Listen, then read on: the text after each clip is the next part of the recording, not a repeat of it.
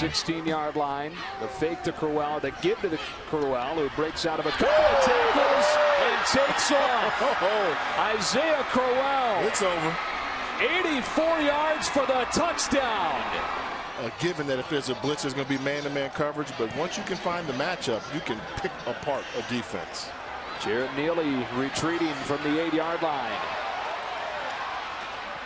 And Neely pulled down at the 32 by Qua Cox. Right through him. Duhart with all kinds of time. He'll dump it off to Cyrus. He sticks the shoulder. They were not good on third down in the loss against Jacksonville State last week. Duhart stands in, throws, and it's intercepted. Time he's been in Montgomery, they've noticed when he first got there, they've seen more maturity from him from just a year ago, and that's a good sign for that young man. Duhart Look throws into coverage, and it's incomplete as they bring Arsenio Favor into the game at quarterback. And Favor keeping it off that zone read play on his first.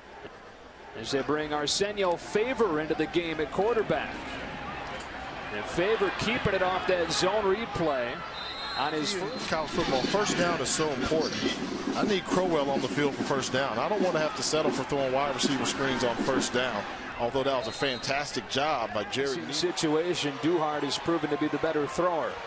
Jackson State brings pressure. Duhart throws back incomplete. Looking the continuity and the chemistry that you need to have. They've got to be careful before something bad happens. Duhart being chased, throws on the move, and it's off the hands of his Number two, you've got to attack the middle of the Jackson State defense right now. That's where the soft spot is in this coverage. Seven drop into coverage. Favored dances in the end zone. Throws one. Wide open again. Earl Lucas. First down to the 45.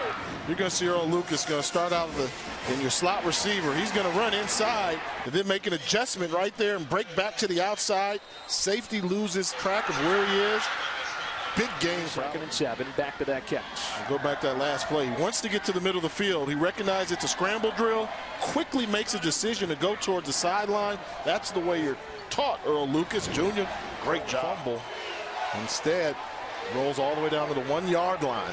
What a fantastic punt by Williamson. They'll spotted at the two. Alabama State will have to go 98 yards, and they start with play action. Favor with time, taking a shot. There's Bell off his fingertips, second down. Qua Cox. Four yards, and if this ball doesn't hang in the air so long from Favors, this is a touchdown. Ball floats. Cox is able to come back into the play and knock it away.